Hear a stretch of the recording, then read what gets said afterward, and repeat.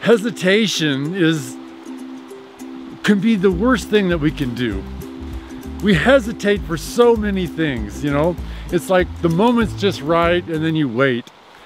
We hesitate to think that we have everything we need to do what we want to do. We hesitate because we feel like we're not accomplished enough. Hesitation will get in the way of spontaneity and spontaneity is honestly what the best thing in life is. To be spontaneously direct, to have the feeling and then to go ahead and do it. To have the um, initiative, to know that everything's all lined up and exactly like it's supposed to be and step forward into what it is that you want to do. Now, of course, we don't want to be, you know, running willy-nilly into things. A little bit of, you know, a little bit of preparation is always a good thing. However, I feel like because there's so much information available now that we tend to hesitate way too much. We tend to overthink things and uh, become like, uh, you know, like, oh, geez, I'm not so sure. I don't think I have it all together. Perhaps I need to do this. Perhaps I need to do that.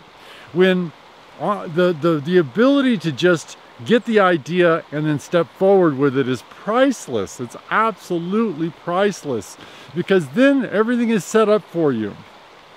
The moment is available and we know when the moment is available. It feels right. And at that moment, the iron is hot and you have to strike when the iron's hot to get the perfect impression. Impressions are very, mm, what's the word? An impression is something that is available right when the moment is right. Because when you stop and you wait and you hesitate, then, the, then everything's different and then it's, it's unavailable. When we get the impression that now is the time, that's the time to step forward.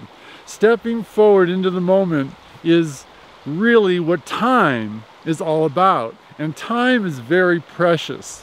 When we tend to think that time is something that's always going to be available, this is simply not true. The time is right now to do things. In this moment, do the things that you feel like need to be done to say that I'll wait till tomorrow, to say I'll wait until I have enough money, I'll wait until I'm older and wiser. That day may not come.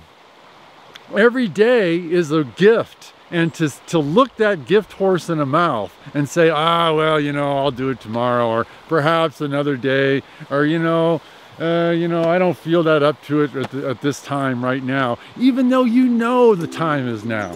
When the time is when the time comes to you, do the things that you know need to be done because there's it may not be here tomorrow.